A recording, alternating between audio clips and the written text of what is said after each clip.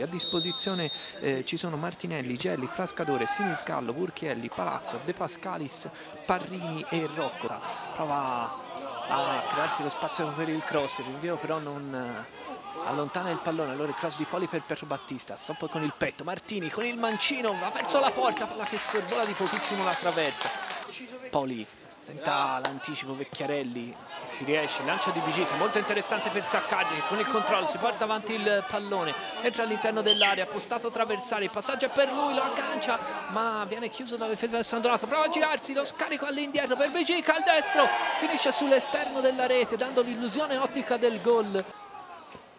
Cross è molto interessante, colpisce di testa Vinci, il pallone arriva dalla parte opposta per eh, Galligani, ha tentato la battuta, palla sull'esterno della rete, è andata sull'esterno della rete.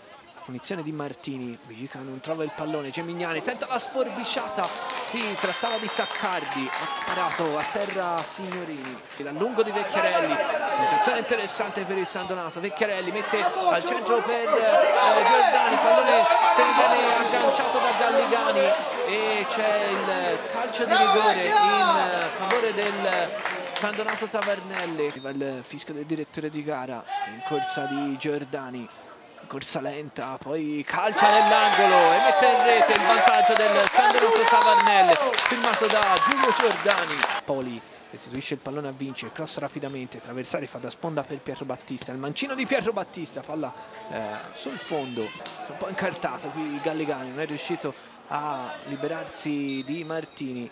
Intanto arrivano i due fischi del signor Gianquinto, finisce il primo tempo grazie alla rete su calcio di rigore realizzata da ehm, Giordani. La palla al piede di Veccarelli dopo aver calcolato con Meucci. C'è Giordani che cade palla sulla sinistra, preferisce andare da Galligani. La conclusione di Galligani si insacca alle spalle di Timperanza per il 2-0 del San Donato Tavernelli quando siamo al quinto minuto della ripresa. E ancora una volta scendo Zampino, ma più che altro le falcate di ehm, Gabriele Vecchiarelli per la rete del San Donato Tavernelli con Alessandro Vinci. Martini di prima intenzione, una giocata che tenta spesso il mediano dello Scandicci Saccardi. La conclusione bloccata facilmente da Signorini. Cauterucci, cross all'interno dell'area, di testa traversari, prova a prolungare per Saccardi, blocca a terra, punizione di Poli.